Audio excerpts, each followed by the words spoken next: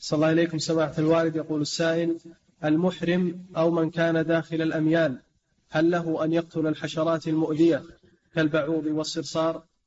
نعم المؤذي يقتل في الحل والحرم. خمس الفواسق تقتل في الحل والحرم لأنها مؤذية. وكل مؤذي ولا يندفع إلا بقتله يقتل. نعم.